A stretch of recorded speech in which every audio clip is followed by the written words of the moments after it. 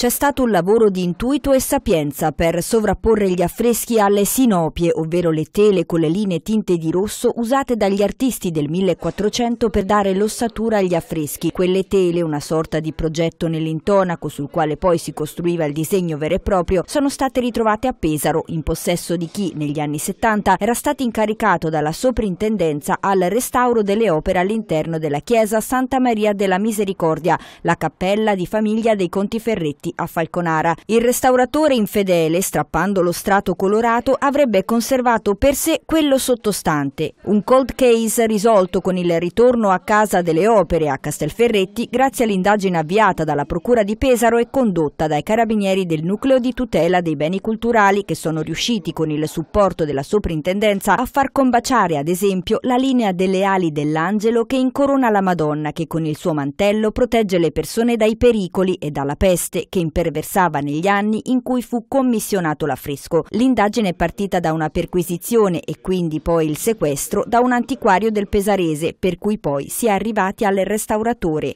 Chi fa queste cose normalmente lo fa per uno scopo di lucro e l'idea che abbiamo avuto è che non è molto semplice dare via queste opere